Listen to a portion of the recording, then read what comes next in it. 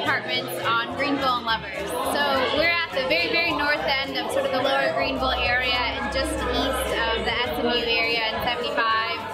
Our direct community is extremely diverse, lots of young folks, lots of young families.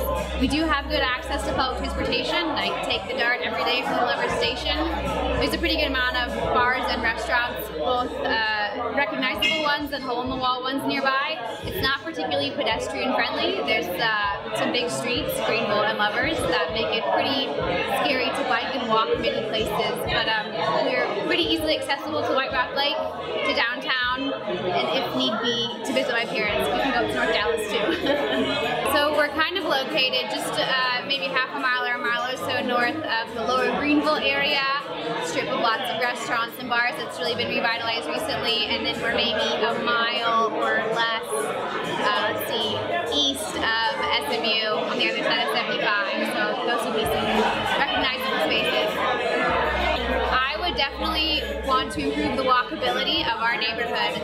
I mentioned we have a lot of great spaces to visit. We've got nice access to White Rock Lake, to the DART light rail station, um, to lots of bars and restaurants. However, crossing or walking down Lovers Lane, Greenville Avenue, Skillman, um, with the dog, with the bicycle, with the stroller is treacherous and uncomfortable. So creating spaces for folks to walk or bike from the village apartments to some of the great surrounding areas would really be an asset for the neighborhood.